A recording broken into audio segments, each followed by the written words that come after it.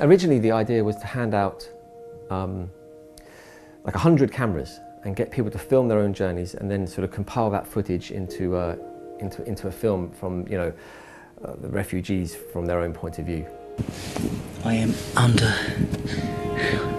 one of the lorries. So it's, it's a great idea, but it doesn't replace sort of embedding with someone and going on that journey with them. So we ended up following 12 people, probably, um, on that journey. And out of those 12, we used seven main contributors in the, in the cut. And what we're asking for them to do is, is, to, is to film with a sort of filmmaker's head on when they're in the midst of something which is quite stressful for them. And what amazed me is that some of them actually did it. At times where you just think it would probably be much easier for them not to have had that extra responsibility. Some of them found it useful. Some of them found actually having that extra responsibility sort of took them out of the moment and made them look at it more objectively and it found, they, they found that useful. Others found it um, difficult and didn't do it and that's, that's fine. Collecting footage was difficult because you know, ideally you just, you'd, you'd, you'd, upload it, we'd download it. But um, that takes, to be in a place with internet connection, it takes uh, to have enough data on your phone and, um, and it takes time. So what we were doing would be we'd, we'd give them cards.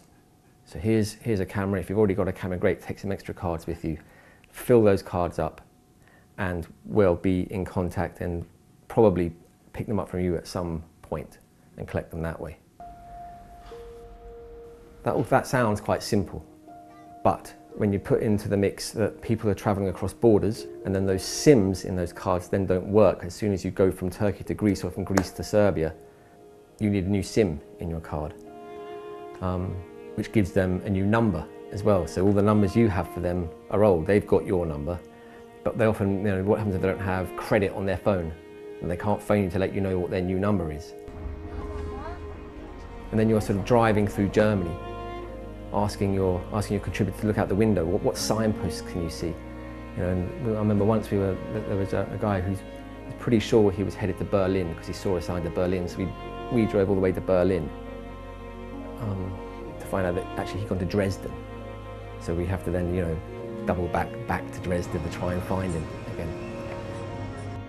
If someone's going to incur a cost because of something you're asking them to do, like try and upload footage, or try and give you their new number by phoning you all the time, then it's fair enough to cover those expenses, which means you can put credit on their phone and you can, you can sort of help them that way.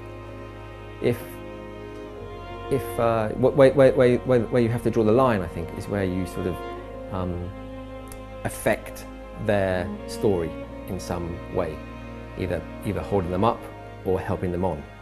So yeah, it's difficult to say, come on, we'll give you a lift, even when it's raining and you feel sorry for them, when you've got a car and they're walking on foot. Um, I think ethically, you know, you, you have to, you can't, you can't, you can't have too much effect on their situation that way.